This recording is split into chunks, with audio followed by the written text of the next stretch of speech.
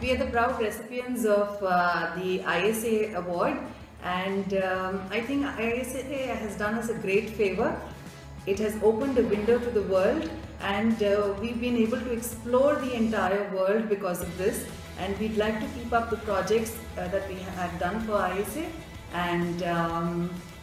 I'd like to offer you a glimpse of the projects that, that our children have done